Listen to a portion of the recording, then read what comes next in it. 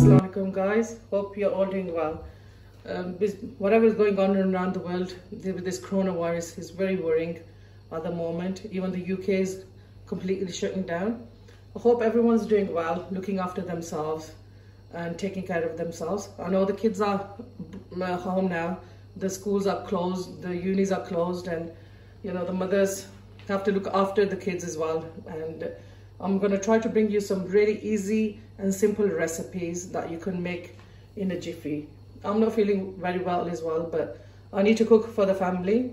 So today I'll bought you a really easy and very delicious recipe and it's aloo tikki and I'm gonna make a fresh coriander chutney with that. So for this you'll need about eight medium-sized potatoes that are I've peeled and cut in cubes and I washed them.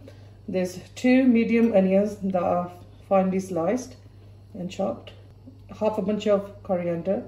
I've uh, cut it and washed it. And this is pomegranate seeds.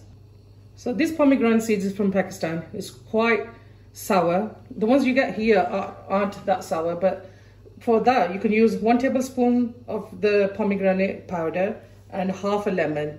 And if you can taste it and if you need to add any more lemon then you can. So I'll go to the next part of the recipe I've got now. a pan on with uh, some water boiling. I'm going to add the potatoes to this. Just add all the potatoes in that we're going to boil the potatoes until they are quite soft. So just give that a mix. I'm going to put this the lid on it and then let it boil. And every so often just give it a quick stir and see how far the potatoes are getting on. And then when it's completely done I'll let you know. I'm going to check on the potatoes now. It's been about seven minutes they've been boiling on full heat. So we'll give it let's see if it's nearly done. Not quite there yet. So I think another three to four minutes and then they'll be done so, so guys, I've switched the gas off. The potatoes are done now. So I'll show you. See, they're quite soft now. So I'm going to drain these potatoes and let them get cold. And then we're going to add the rest of the ingredients to them. The potatoes are cooled down now. So I've just mashed them with my hand. I'm not using a masher because I don't want them to get too fine. So I just mashed them with my hand. I'm going to add the rest of the ingredients in this now add all the onions in. Let's mix it. Up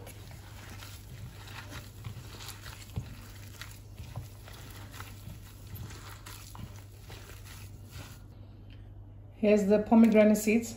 Just mix that again.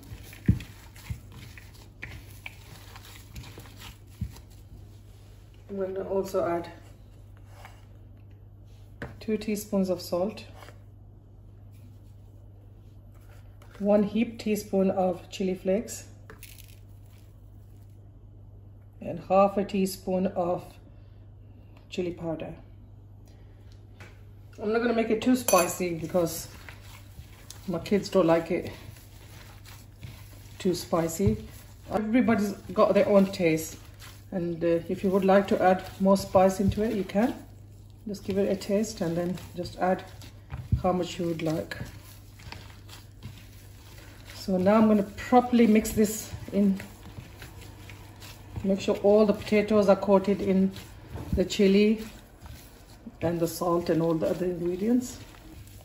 You can make it for just a snack for tea time or you can eat it with naan, chapatis or a with the main meal as well. I just like to eat it with a homemade chapati and some salad and chutney and that's it. And tastes really nice. I'm also going to add the coriander to this now as well. Mix.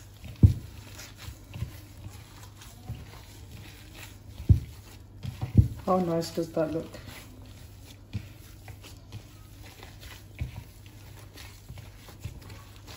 I'm going to give it a taste now because I'm going to give it a, a taste now and because we like it quite tangy. I'll see if you need more pomegranate uh, powder or you I can put some more lemon juice in it. I'm gonna add half a lemon in there as well. So just squeeze the lemon juice out. Make sure there's no seeds in that. Give it a, a mix.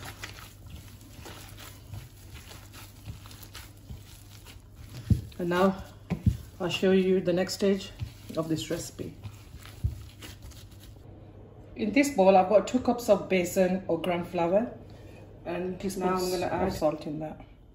I'm gonna make like a paste out of this now. So mix all the salt in. I'm gonna start adding water, just a bit at a time. Just with your hand, just give it a good mix. Um, I'm adding water a bit at a time so it doesn't turn lumpy.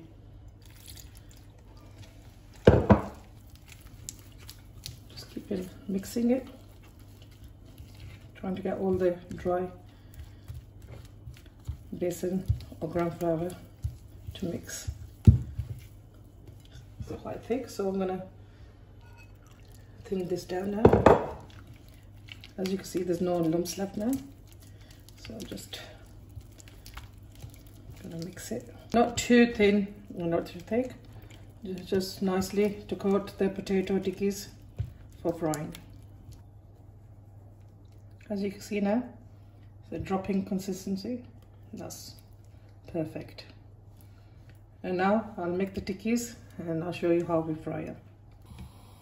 I'm gonna take some of this mixture and start making the tikkis. Just not too small and not too big.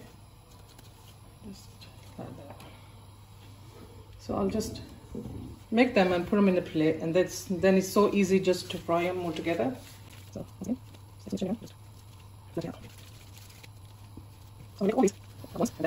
I've got the oil on the heat now and it's just right for frying so I'm gonna just dip one of the potato balls in here and then take the excess off and just pop it in. Be careful, the oil's quite hot. So I'm just going to do that with the rest of them. There you go. So I've just added about five to the oil. I'm not going to put too many in there, so the oil will get cold. And I'm just going to give it a slight stir. I'm not going to turn them over at the moment. After a couple of minutes, then I'll turn them onto the other side.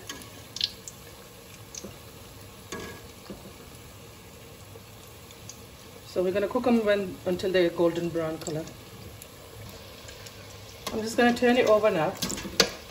You don't have to cook it too long for too long because the potatoes are cooked. Just the coating needs to get cooked. So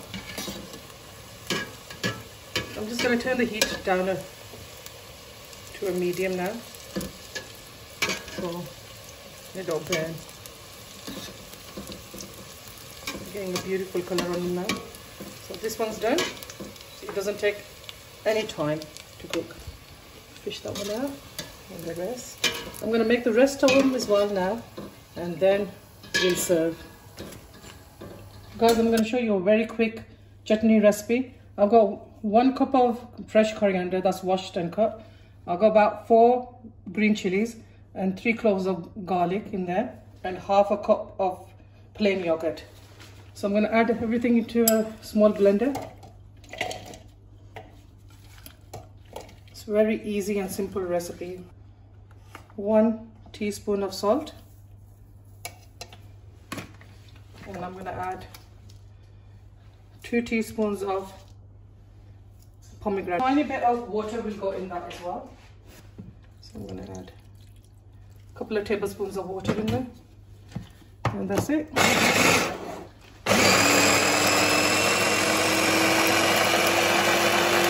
There you go guys, that's done now. I'm going to add the yogurt to this and mix it all together.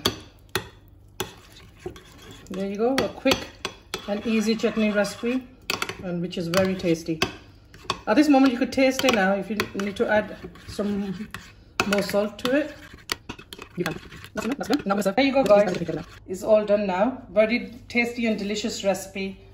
and I will open one and show you how it looks from inside there you go that looks really yummy serve it with chutney and I hope you enjoyed this recipe and you would give it a try it's really quick and simple and take care of yourselves. I'll see you later. Bye